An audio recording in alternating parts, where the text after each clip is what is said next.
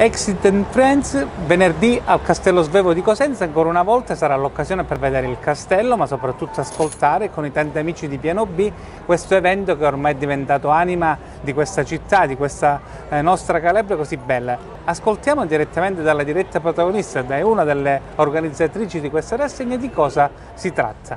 È, è vero Francesco, allora ritorniamo ad offrire dei momenti di spettacolo dal vivo, lo faremo venerdì 17 al Castello Normanno Svevo di, di Cosenza appunto con la quarta edizione di Exit and Friends, una rassegna eh, organizzata e voluta da Piano B che eh, valorizza il genius loci, quindi le nostre eccellenze, i nostri artisti.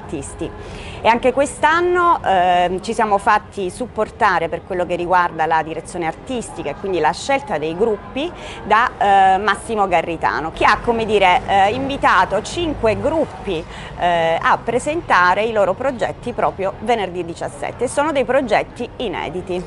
E poi c'è anche arte, oltre la musica, vero?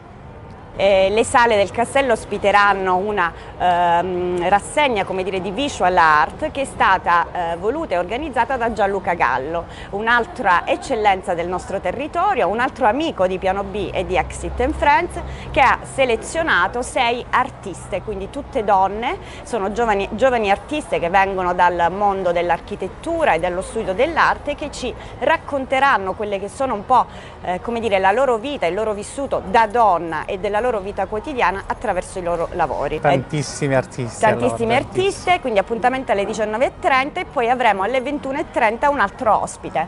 Giobbe Covatta ha dire, accettato l'invito a prendere parte ad Exit Friends e eh, dire, ci accompagnerà in quello che è nel suo personale viaggio nella Divina Commediola.